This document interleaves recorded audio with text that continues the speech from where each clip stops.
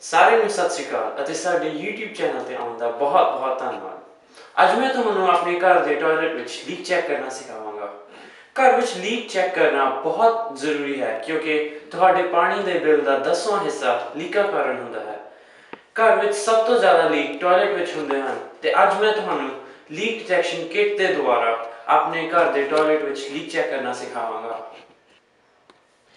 ਇਹ ਇੱਕ leak detection sticker ਹੈ। ਤੇ ਇਹ ਵਰਤਣ ਵਿੱਚ ਬਹੁਤ ਆਸਾਨ ਹੈ। ਹੁਣ ਤੁਸੀਂ ਬਸ ਟੈਂਕ ਦੀ ਲਿਡ ਉਤਾਰੋ। ਤੇ ਹੁਣ ਤੁਸੀਂ ਬਸ ਇਹ ਇਥੋਂ ਲਾ ਕੇ ਆਪਣੀ ਟੈਂਕੀ ਦੇ ਪਾਣੀ ਦੇ ਵਿੱਚ ਏਦਾਂ ਰੱਖ ਦੇਣਾ ਹੈ।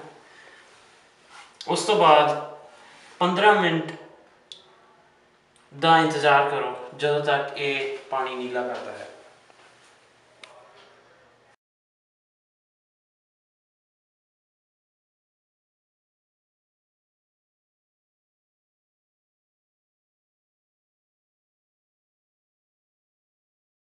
ਜੇ 15 ਮਿੰਟ ਬਾਅਦ ਤੁਹਾਡੇ ਟਾਇਲਟ ਦਾ ਬੋਲ ਨੀਲਾ ਹੋ ਜਾਂਦਾ ਹੈ, ਤਾਂ ਤੁਸੀਂ, ਤਾਂ ਤੁਹਾਡੇ ਟਾਇਲਟ ਵਿੱਚ ਲੀਕ ਹੈ, ਜੋ ਤੁਹਾਨੂੰ ਠੀਕ ਕਰਾਉਣਾ ਚਾਹੀਦਾ ਹੈ।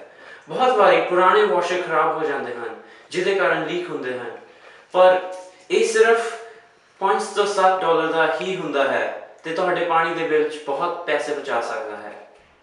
ਜੇ ਤੁਹਾਡੇ ਕੋਲ ਲੀਕ ਡਿਟੈਕਸ਼ਨ ਕਿਟ ਨਹੀਂ ਹੈ, ਤਾਂ ਤੁਸੀਂ ਫੂਡ ਕਲਰਿੰਗ ਦਾ ਵੀ ਇਸਤੇਮਾਲ ਕਰ ਸਕਦੇ ਹੋ। ਫੂਡ ਕਲਰਿੰਗ ਦੀਆਂ 3-4 ਬੂੰਦਾਂ ਪਾ ਕੇ 15 ਮਿੰਟ ਵੇਟ ਕਰੋ ਤੇ ਜੇ ਤੁਹਾਡੇ ਬੋਲ ਵਿੱਚ ਉਹ ਰੰਗ ਆ ਜਾਂਦਾ ਹੈ, ਤਾਂ ਤੁਹਾਡੇ ਟਾਇਲਟ ਵਿੱਚ ਲੀਕ ਹੈ। ਇਹ ਸੀ ਅੱਜ ਦਾ ਪਾਣੀ ਬਚਾਉਣ ਦਾ ਤਰੀਕਾ। ਮੈਂ ਉਮੀਦ ਕਰਦਾ ਹਾਂ ਕਿ ਇਹ ਵੀਡੀਓ ਤੁਹਾਨੂੰ ਪਾਣੀ ਬਚਾਉਣ ਦੀ ਮਦਦ ਕਰੇਗੀ। ਇਹ ਵੀਡੀਓ ਦੇਖਣ ਲਈ ਤੁਹਾਡਾ ਬਹੁਤ ਬਹੁਤ ਧੰਨਵਾਦ। ਸਤਿ ਸ਼੍ਰੀ ਅਕਾਲ।